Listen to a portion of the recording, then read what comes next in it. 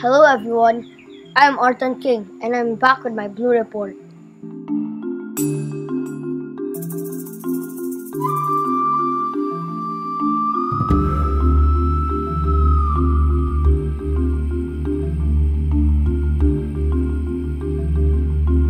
Our Earth is the most beautiful planet in our solar system. As far as we know, Earth is the only planet that has life. But our planet is gasping for breath right now because all kind of pollution is choking her and slowly continuing to strip her ozone layer. The biggest challenge that the Earth is facing today is global warming. The glaciers are melting, sea level is rising, droughts, floods, storms, heat waves, and the fast climate change are continually happening. Global warming is primarily a problem too much carbon dioxide in the atmosphere, which acts as a blanket, trapping heat and warming the planet. Carbon accumulates and overloads our atmosphere. We burn fossil fuels like coal, oil, natural gas for energy, or even when we cut down and burn forests. Everywhere we look, we see waste.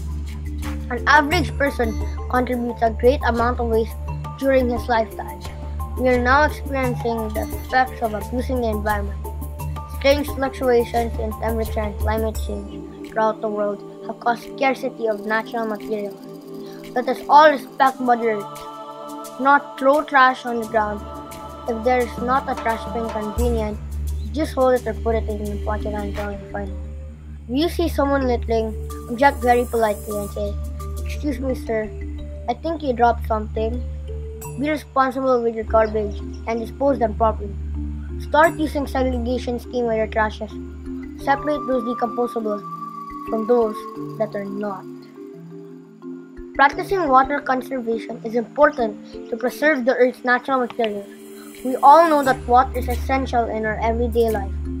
Without it, life on Earth is impossible. So if we change our water usage habits, like turning off the faucet while brushing our teeth, shorten showers and baths, and fixing leaking faucets can save billions of gallons of water. Mother Earth is calling us for her protection. People have become selfish. Our Earth is burning from both ends as riverbeds are running dry. Be kind to trees. As much as possible, use forest, forest products and timber wisely. Trees help filter pollution from the air, give us oxygen, create shade, and it's a refuge to different insects and birds. Just imagine if Cebu has 7 million population and everyone plant just one tree. That would be an extra 7 million trees helping to clean our air. Without trees, there would be no life on this planet. Everyone should remember the three R's reduce, reuse, and recycle. You may have heard this catchy phrase before, but few people actually apply it to their everyday life. Reduce. The first R is the basic concept of water conservation. Try to be mindful of the ways you can reduce your waste production throughout the day. Reuse. Use reusable bags. Buying a reusable bag can save hundreds of plastic bags per year per person. In fact, approximately 1 trillion plastic bags are used and discarded each year. If millions of people were reducing the production and disposal of hundreds of plastic bags a year, that would make a huge difference. Plastic kills nearly 2 million birds, whales, and turtles eat every year. They choke or get tangled with lead.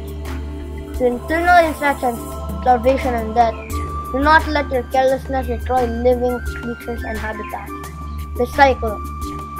It is oftenly confused with reusing. Recycling is the act of reprocessing things like paper, glass, aluminum into new products. Everything old is new again. Mother Earth is so gentle, beautiful, and full of magic. Let us all do our part in taking care of her. It is the responsibility of every citizen to respect the environment, and prevent anything that damages and affects future generations. We all must come together to save it. Let us learn how to appreciate nature and her gifts to mankind, and do whatever means that will help nurture and protect the only planet we live. We should honor Mother Earth with gratitude. Let us spread awareness to every citizen throughout the country to learn more and how to save our planet.